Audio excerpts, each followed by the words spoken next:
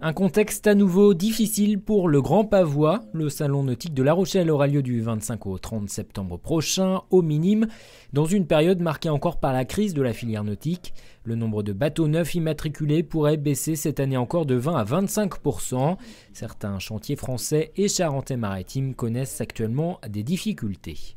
Sur le Grand Pavois, bien évidemment, euh, nous, avons, nous allons avoir moins de bateaux, hein, puisque euh, nous avons 550 bateaux exposés, et donc euh, d'habitude nous en avons entre 700, on a eu des années à 750, 700, bon, on a à peu près 120 bateaux en moins cette année.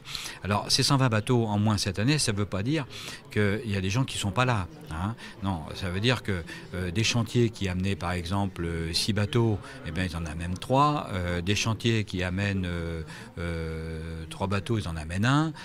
donc, donc effectivement, on a des gammes, des gammes sur certains chantiers qui sont moins fournis. 800 exposants sont annoncés cette année au Grand Pavois, avec un invité d'honneur la Martinique. 100 000 visiteurs sont attendus, parmi lesquels le ministre de la Mer, Frédéric Cuvillier, qui devrait rencontrer les professionnels de la pêche.